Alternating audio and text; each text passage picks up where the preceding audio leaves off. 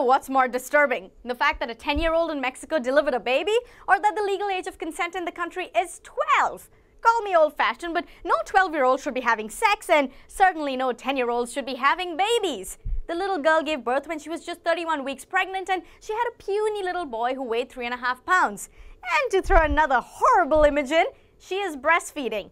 Mexico has these laws which prevent young mothers from getting abortions unless you can prove she was raped. In this case, authorities still don't know who the baby daddy is and if she was raped.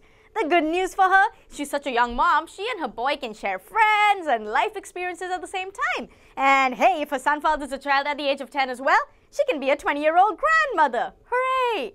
And if you think 10 is young, wait till you hear the age of the world's youngest mommy. 5. She was 5, which means she had sex when she was 4. When I have kids, they will never be allowed to leave my sight.